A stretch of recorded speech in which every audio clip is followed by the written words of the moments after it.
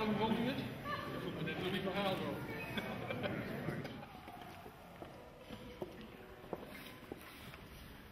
Ehm, Jeroen, Peter, Petra en Lydia. Ehm, we zijn heel erg blij dat we vandaag eindelijk de aftrap eh, kunnen maken voor de eh, IJsland Diabetes Challenge. Ehm, ik wil jullie kort eh, meenemen in wat we allemaal doen. Dat doen wij niet alleen. Wij, wij worden gesteund door een aantal medische vrijwilligers eh, die hier ook aanwezig zijn. Ehm, en natuurlijk ook alle partners van de deelnemers, want het is heel geweldig dat jullie hier zijn eh, om, eh, om ja, ook een beetje kennis te nemen van wat we allemaal gaan doen de komende half jaar. Partners, kinderen, ouders, fantastisch dat jullie er allemaal zijn. De Bas van de Hoor Foundation is zeven jaar geleden opgericht ehm, en heeft als missie de kwaliteit van leven van mensen met diabetes beter te kunnen. Heb zelf een aantal jaar gevolleybald en eh, het is mij eh, opgevallen dat hoe meer je beweegt, het makkelijker is om je diabetes te controleren. Eh van daaruit ja, willen we eigenlijk iedereen vertellen dat hoe meer je beweegt, makkelijker het is om je bloedsuikers onder controle te krijgen. En dat doen we met name voor kinderen, kinderactiviteiten, maar af en toe hebben we ook een activiteit voor volwassenen. We hebben er twee challenges op zitten. De eerste challenge was op Kilimanjaro. We zijn met acht mensen met diabetes type 1 naar Tanzania gegaan en hebben wij eh, de top beklommen. Acht mensen, zijn, eh, acht mensen met diabetes zijn gestart en iedereen is boven gekomen. Vinden we geweldig natuurlijk. Twee jaar later zijn we naar de Atlas Challenge gegaan. Hebben we zelfs eh, iets soortgelijks georganiseerd voor mensen met diabetes type 2. Ook daar hebben we weer 100% score gehaald. Iedereen op de top, daar zijn we heel erg blij mee. En nu staan we ehm, eh, voor de IJsland Diabetes Challenge. Nou, wat is nu de aanleiding geweest? Ik, eh, ik lees even met jullie mee, ehm, want wij kwamen de laatste tijd heel vaak het woord zelfmanagement tegen. En ehm, nou, dat is een, met 12 juli naar IJsland op 80 kilometer en 3, 3650 hoogtemeters in zes dagen te lopen met volle bepakking. En volle bepakking betekent eigenlijk alles wat je in zes dagen nodig hebt. Dus je tent, slaapspullen, slaapzak, eh, maar ook eh, al je kleding, je, je waterschoenen, je, je water, eh, je kookspullen, je bordje, je lepel en je voeding. Dus ook al het eten wat je zes dagen nodig hebt, je zelf meenemen. Dat is de, de opgave. Alle vierde sponsors eh, eh, die, eh, die ons normaal ook al steunen als stichting, ook hier bij dit, eh, de, dit project ingestapt zijn, dus die steunen ons ook nu weer. Daar zijn we heel erg blij mee. Nou, waarom heb ik een roze paraplu bij me? Er zit geen verhaal achter, die had ik gewoon even gepikt om een aanwijsstok te hebben. Ik ga uitstappen om te vragen van, kunt u mij de weg naar Radio Kootwijk vertellen? Dat deden ze, maar toch iedere keer weer opnieuw dat bij een klinkerpad uit. Als ik dan hier om me heen kijk, er is op IJsland is er geen plek waar ik nog verrast ben. Dat ik denk van, oh, dit is geweldig, dit heb ik nog niet gezien. Maar ik kwam hier in Radio Kootwijk en ik denk van, oh, wat is Nederland mooi. Dit is leuk. Dus, dus om aan te geven, ik, eh, om het maar even heel plat, eh, plat te zeggen, is ik ken eh, IJsland beter dan dat ik eh, Nederland ken. En eh, eh, vanuit eh, eh, wat ik heb ervaren, wat ik heb meegemaakt daar, eh, is het niet moeilijk om iemand in die overtuiging, beleving, ervaring mee te nemen. En IJsland groeit dus ook ieder jaar, zowel naar het westen als naar het oosten, met 1 centimeter. Dus IJsland is een land wat met recht kan gezegd worden dat het in beweging is en blijft. En dat heeft ermee te maken dat precies op deze lijn, dit stuk op sommige punten zakt ieder jaar met een halve meter. Ehm, even verder. In principe, IJsland is 2,5 keer Nederland. Ehm, van het zuidelijkste puntje tot het meest noordelijke puntje wat je kunt bedenken in het midden is plus minus 500 meter, sorry 300 meter. En van het westen naar het oosten is dat 500 meter. Precies in dit gebied. Van naar Leuker, door naar ons eindpunt naar Skobar. Rechts een grote vulkaan, voor jullie links een grote vulkaan en rechts een hele grote vulkaan. En dit is dat kleine stukje wat we net hebben gehad. In 1, 2, 3, 4, 5, 6, in 7 haltes. Zes dagen. Even jullie, uh, jullie programma van 4 tot 7 tot 12. 7 zijn in theorie zijn 9 dagen, maar je hebt nog een dag dat je uh, moet aankomen. En we gaan pas op de heenweg, dus op 4-7, gaan we pas in de avond vertrekken. Kijk even, ik licht. Kant, als je de kaart doortrekt. Naar Landman naar Leuber, waarbij we uh, drie rivier doorsteken moeten doen. Dus het is een bus met grote banden. Ben je ongeveer een 2,5 uur bezig. En wat zie je hier? Dit is de hut. Daar is onze eerste overnachting. Je ziet er een camping naast. En wat nog veel leuker is, is dat er liggen hier naakte mensen. Dat, dat vond ik leuk. Dat, vond, dat zien jullie ook. Dat vast leuk. Dus je zwemt naar een plek waar het voor jou lekker is. En, en dat is eigenlijk IJsland met zijn vulkanen, met zijn natuurlijke warme badjes, zijn gijzers, noem maar op. Dat is IJsland in de notendop. Um, ja, hier, komen, hier, hier kom je langs met de bus. Dus met andere woorden, IJsland kan ook uh, barre omstandigheden. Uh, dit is het gebied waarin we lopen, dat is dag 6. Dan gaan we in feite gaan we van Landmannenleuber naar Raptinuska. Dat is omhoog. En de volgende dag, dit is eigenlijk nog zo'n foto van dat gebied. En wat, je heel, wat, wat kenmerkend is voor dit gebied waarin we beginnen, is dat je ziet dat het heel erg rood is. Een solvatarenveld. Er zijn ook heel veel van die pruttelpotjes, gijzers die uit de grond komen. Um, dit is vroeg juni, dus halverwege juni. Dat is zoveel ijs als hier nu ligt, komen wij naar alle waarschijnlijkheid niet tegen. En dan loop je dan met je groep. He, zoals Bas al zei, je draagt zelf je bagage, zelf je voedsel, zelf je tent, zelfvoorzienend. Dan de volgende dag uh, is het op weg naar uh. En um, nou ja, ik denk dat, dat de dia voor zich spreekt, waarbij je al ziet dit meer. En dat is de volgende dag waar we naartoe lopen. En dat ziet er dan zo uit. En dit zijn, kun je een klein beetje vergelijken met een basecamp. Waarbij zelf de tenten. Wat wij extra hebben is dat we een kooktent hebben en een eettent. Dus het meer, je kunt dus als je s'avonds vrij bent en je hebt tijd en zin, kun je nog rond dat meer gaan lopen. En hier, deze berg, daar zijn we net vanaf gekomen. We hebben het ook nog even, onderweg komen een aantal rivieren komen tegen. En uh, in, in het meest ideale zin is dat uh, ja, ze overbrugd zijn. Nou, troost je met de gedachte dat dat er maar één is. En de andere, overige drie, die zijn uh, ja, dat je echt gewoon moet doorwaden. Dus dat betekent schoenen uit, laten zien dat het, het, kan zijn dat we dus in een korte broek met een singletje fluitend deze tocht lopen.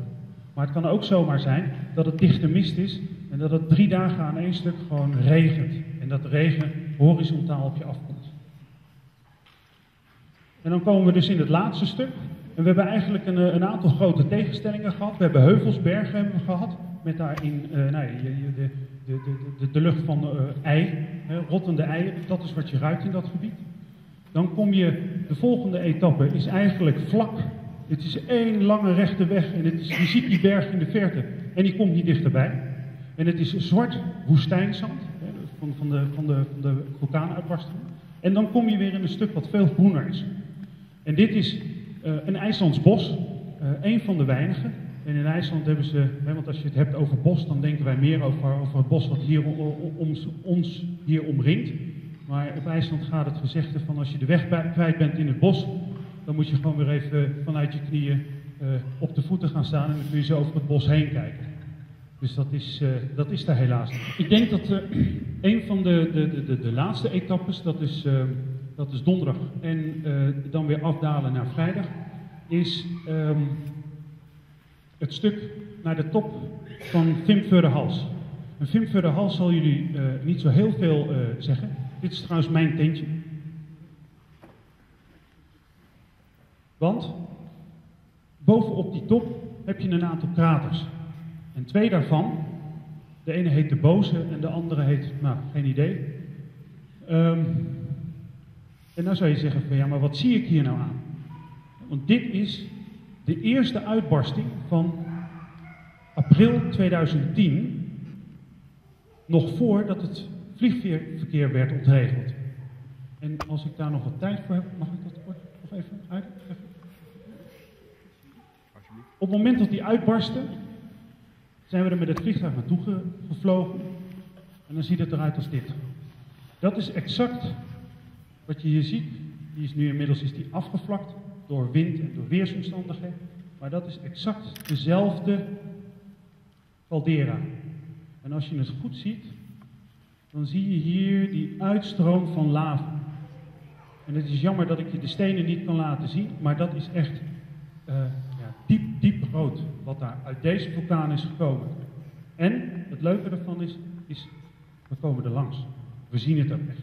En de, op bepaalde plekken, dat kun je hier nog goed zien. Kijk, je ziet hier de dampen uit de grond komen. Er zit nog zo ongelooflijk veel warmte in de grond van drie, vier jaar geleden. Dat dat nog zichtbaar is en voelbaar is op bepaalde plekken als je de stenen weghaalt. Het grote verschil met, met eh, deze vulkaan, die in april gegaan is, en een week later, die het luchtverkeer heeft ontregeld, is dat deze vulkaan, zoals je kunt zien, ligt eigenlijk onder maar een heel klein beetje sneeuw. Met als gevolg dat lava kan zonder enige moeite gewoon die krater uitstromen. Maar op het moment dat een, ik denk een kilometer naar rechts toe, daar ligt een pak ijs van 500, 600 meter. En op het moment dat ijs met vloeibaar steen in eh, contact komt, dan kun je misschien wel een beetje voorstellen wat er gebeurt. In feite, wat je dan krijgt, is gewoon hele fijne glasflintertjes die de lucht in worden geblazen. Met enorm veel explosies. Het is echt een eh, indrukwekkend gezicht. En dat is waar we komen. Die is eh, een meter of 30, 40 hoog. En het kenmerkende is, je kunt achter de waterval kun je doorlopen. En dan, dan, dan zitten we hier, bij dit puntje. Nou, de volgende stop die we maken is. Hè, eigenlijk waar alle bad, eh, eh, badgijzers naar vernoemd zijn. Dat komt eigenlijk komt dat door dit ding. Ehm, en de grote, die, die, zie je, die zie je hier. En die, is, die heeft, op het moment dat die uitbarst, maakt hij een straal van 60 meter kokend heet water wat de lucht in gaat. Het enige alleen is, is dat deze nog maar één, hooguit twee keer per jaar eh, eh, uitbarst. En deze, die heet Strokker. En die, eh, deze gijzer die barst om de 4 tot 8 minuten uit. Dus succes verzekerd. Even nog vanuit wat dichterbij. Dit is toch wel een kolom water van 25 meter. Het volgende punt is de Gulfos. Dan zitten we op de kaart. Zitten we al weer hier. En dit is een enorme grote waterval. Ik kan er wel van alles over vertellen, maar ik, ik, denk dat op het moment dat je daar staat, dat de kracht waarmee het water valt en de, de, de, enorme breedte, dat het eh, voor, zich, eh, voor zich spreekt. En we hadden het net in het begin over dat, ehm, dat IJsland zich eigenlijk in twee. IJsland wordt steeds groter. Het trekt die kant op en het gaat die kant op. Maar waar zie je dat dan? Nou, dat is ook een punt waar wij langskomen, namelijk bij eh Thingvellir. En Thingvellir ligt aan de noordkant van Thingvallavatn. Het is een heel, het grootste zoetwatermeer van IJsland. En daar zie je echt, en dat kun je, hier kun je dat goed zien. Kijk, uiteindelijk heeft, heeft dit stuk steen, heeft aan dit stuk steen vastgezeten. En dat is dus in de loop van de miljoenen jaren uit elkaar getrokken. En dat zie je, dit, dat zie je echt over, nou, over in deze hele lijn lopen dus van passages die met dat uit elkaar getrokken steen. eh, eh, ehm, dat, omdat die zo mooi rondloopt, worden hier eh, in de zomer, in juni, worden hier pontons ingelegd. En dan geven ze een concert op het water. Het is overigens ijskoud. Op het water van deze krater. En de mensen die gaan dan rond in de, in de caldera gaan ze zitten. En dat is een fantastische akoestiek, want het is gewoon, eh, hoe zeg je, akoestisch. Dus daar, daar komt geen versterker, komt niks bij om te pas. Rijkenvik is, eh, is, is qua, qua afmetingen eh, een, een groot dorp in Nederland. Ehm, maar, qua, het is, het maar qua allure is het echt een metropool. En dat, dat, dat klinkt raar, maar het, het is, het is een, een stad die uh, zoveel heeft en waar je zo uh, nou, leuk uitgaan. Bijzondere musea. Uh, muziek, als je muziekliefhebber bent, ben je op zijn plaats. Altijd zo'n jazzfestival het eind van het jaar. Dus um, is leuk om af te sluiten. We komen daar in de late namiddag. Met andere woorden, we gaan lekker eten s'avonds. S'avonds heb je de tijd om lekker het uitgaansleven in te, in te duiken als je daar nog de zin en de energie voor hebben. De volgende dag lekker uitslapen. Want we moeten het vliegtuig weer hebben om 16.30 uur. Dus we moeten er twee uur van tevoren moeten we er zijn. En het is maar een ritje van 40 minuten. Kortom, je kunt uitslapen. Je kunt nog wat dingetjes doen als je dat zou willen. En dan is het eigenlijk uh, ja, uh, einde van de reis, einde van de experience. Wat er gebeurt als iemand gelukt is om uh, diabetes goed te integreren in dat leven en die gezondheidsdoelen en die persoonlijke doelen na te streven.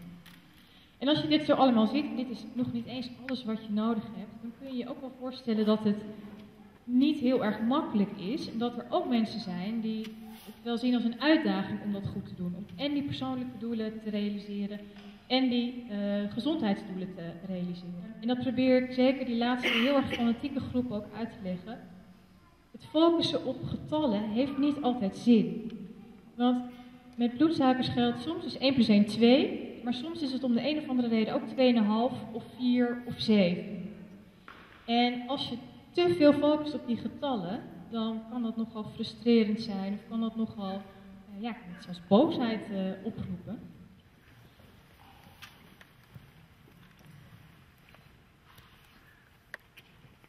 Laat uh, de dia's voor zichzelf spreken.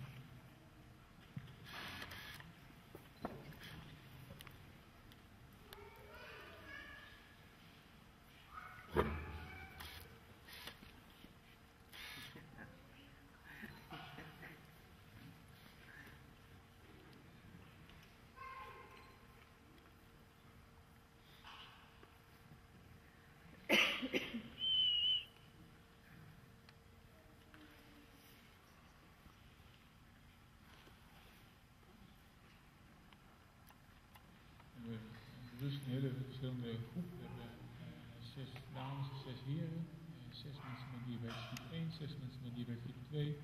Er wordt gekeken naar de verhalen die er uh, tegen zijn gekomen.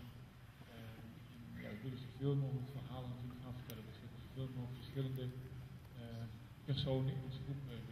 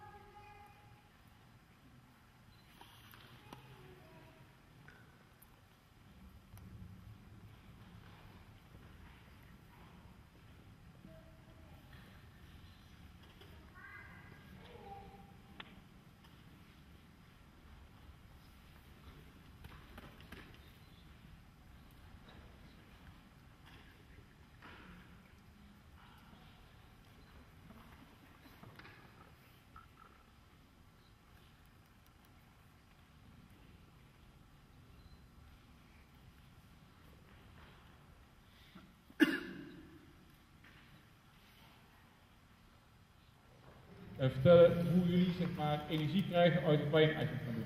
Je graag een opgeven. Dankjewel. Um, ja, jullie zijn de deelnemers allemaal al in Nijkerk geweest om uh, bij ons in het centrum te mogen testen. Dus daar zijn we in ieder geval heel trots op. Uh, maar wij willen ook inderdaad in Nijkerk de mogelijkheid bieden om aan een groep uh, mensen te gaan wandelen en te gaan kijken of ze ja, wat met zichzelf mensen kunnen. Um, ja. Dit is ons pand. Uh, jullie zijn allemaal al geweest. Uh, als het goed is komen we nog één of twee keer in terug uh, om nog een keer te testen en nog een keer wat anders te doen. en vanuit dit centrum willen we straks ook gaan wandelen. Dus in dezelfde periode dat jullie in IJsland zijn, willen wij gaan kijken of we ook in Nijkerk kunnen wandelen. Om de halve marathon van Zwolle te lopen in juli. We zullen daarvoor met elkaar trainen, zullen daarvoor begeleid worden. Een van mijn collega's binnen het ziekenhuis zal daarbij het voertuig nemen. En we proberen zoveel mogelijk mensen ook vanuit de ziekenhuisorganisatie in de eigen afdeling mee te krijgen. En u wilt niet weten hoe lui hulpverleners zijn. en challengediabetes.nl Als je vragen hebt kun je ons deze eh, bereiken op dit e-mailadres. En dan wens ik jullie in het IJslands smakelijk. Ja.